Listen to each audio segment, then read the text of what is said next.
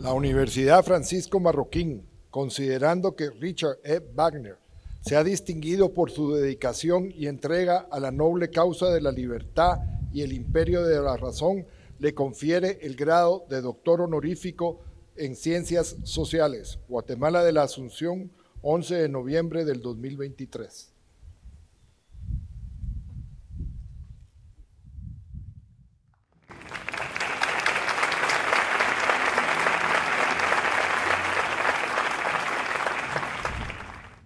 I am deeply honored to receive this award for a long lifetime of work. I'm also very appreciative of Professor Lenore for that really pleasant introduction that reviewed a lot of what I have been working on for so very long.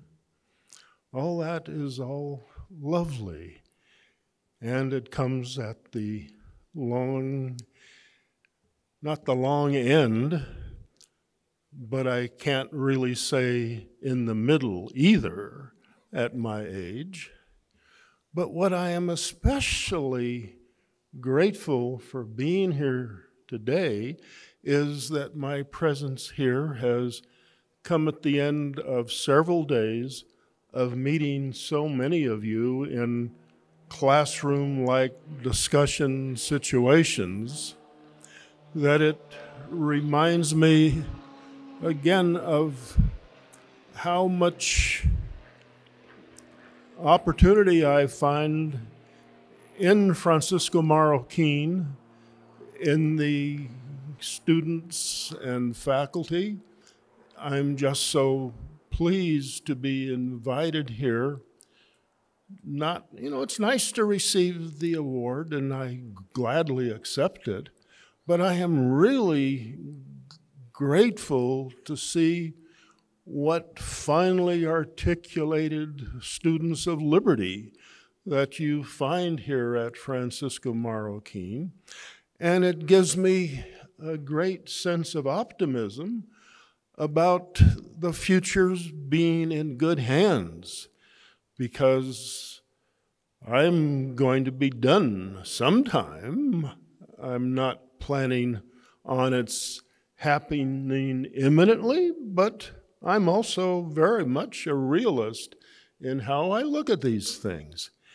And I am just so pleased to see Francisco Marroquin that the reality of the students and faculty who are working here, studying here, lives up very much to the original aspirations of its founder. And so I am just pleased to accept this award, but it, is really a projection forward from that point into what I think we may, and I may reasonably anticipate coming out of Francisco Marroquin and people associated with it that increases, improves my degree of optimism in the world going forward. And so for that, I thank not just the rector, not just the university uh, faculty and administrators, but the student body, you graduates as well. And for all that, I feel just very grateful at this particular moment in history. Thank you.